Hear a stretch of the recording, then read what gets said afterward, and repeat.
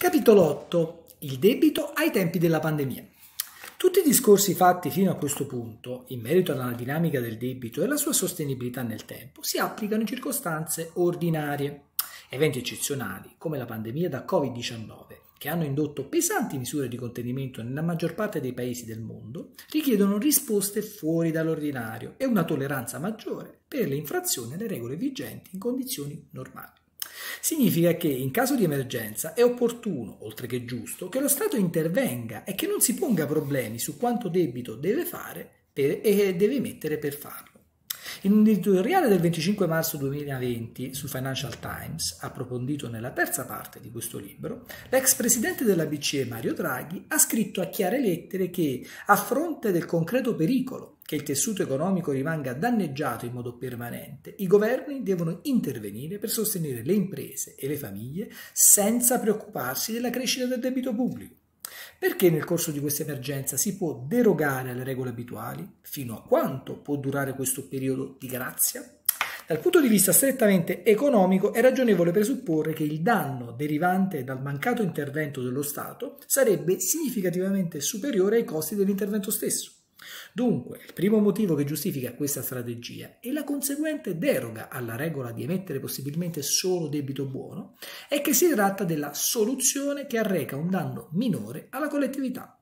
In secondo luogo, è opportuno considerare che uno dei compiti che si prefiggono gli Stati moderni è quello di proteggere gli individui da eventi negativi, estremamente dannosi, che avvengono a prescindere dalla loro volontà. Vale per le calamità naturali e per altri eventi catastrofici, come le pandemie, appunto.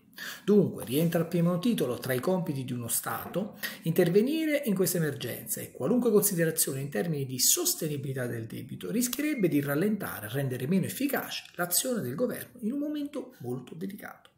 Quali tipi di interventi rientrano in questa casistica? C'è il rischio che qualcuno possa approfittare della situazione? Un gran numero di lavoratori e imprese hanno dovuto sospendere la propria attività e ridurre drasticamente la propria libertà di muoversi. Per ottemperare alle misure di sicurezza introdotte dai governi, al fine di limitare la diffusione della malattia. L'intera economia rallenta fino quasi a fermarsi, perché ai mancati guadagni di chi non può lavorare vanno sommati quelli di chi, pur avendo continuato ad operare durante l'emergenza, ha visto ridursi drasticamente il proprio volume d'affari. Quest'ultima criticità permane oltre la fase più acuta della crisi. Anche quando le misure di lockdown più stringenti vengono allentate, un elevato numero di persone continua a muoversi e a consumare di meno.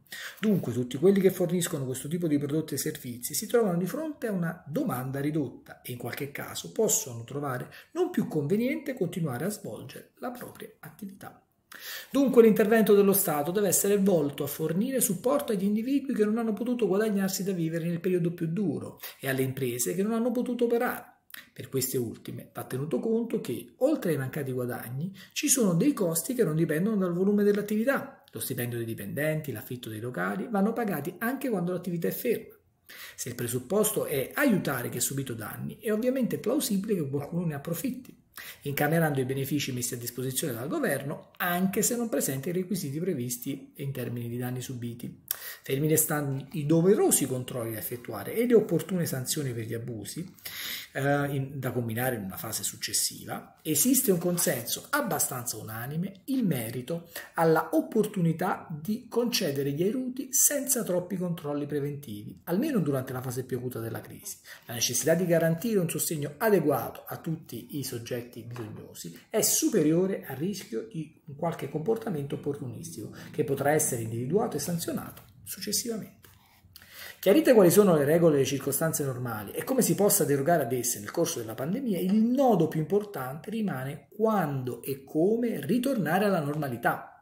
In particolare, il profilo al quale prestare la massima attenzione riguarda la verifica che i provvedimenti temporanei non siano prorogati oltre il necessario, il controllo sulla fase di rilancio dell'economia per indirizzare le risorse disponibili verso impieghi che producano nel tempo crescita sufficiente a rendere il debito contratto per finanziare gli impieghi circolo virtuoso e debito buono. A questo proposito si evidenziano le criticità maggiori per il caso italiano.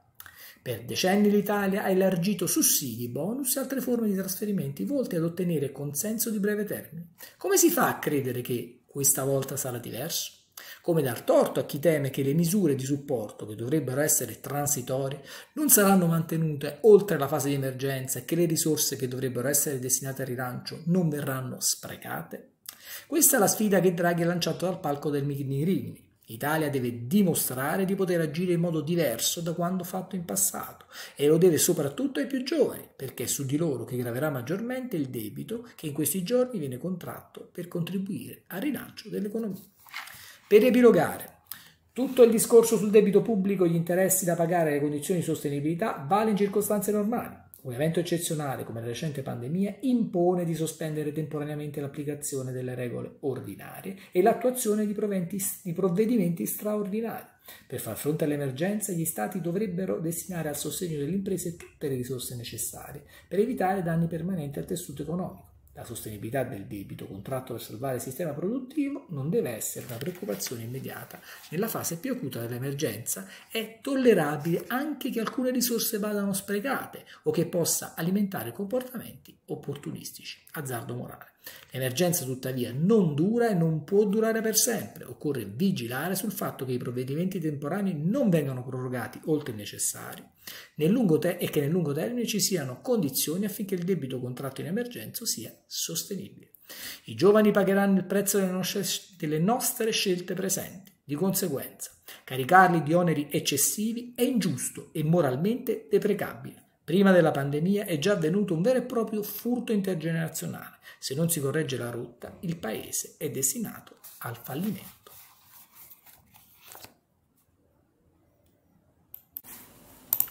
Se il video vi è piaciuto, vi ricordo che potete sostenere questo progetto di informazione ed educazione finanziaria iscrivendovi al canale YouTube di Massimo Famularo e mettendo un like ai video ascoltando il podcast La finanza in soldoni sulle principali piattaforme oppure acquistando su Amazon il libro omonimo in formato cartaceo o ebook.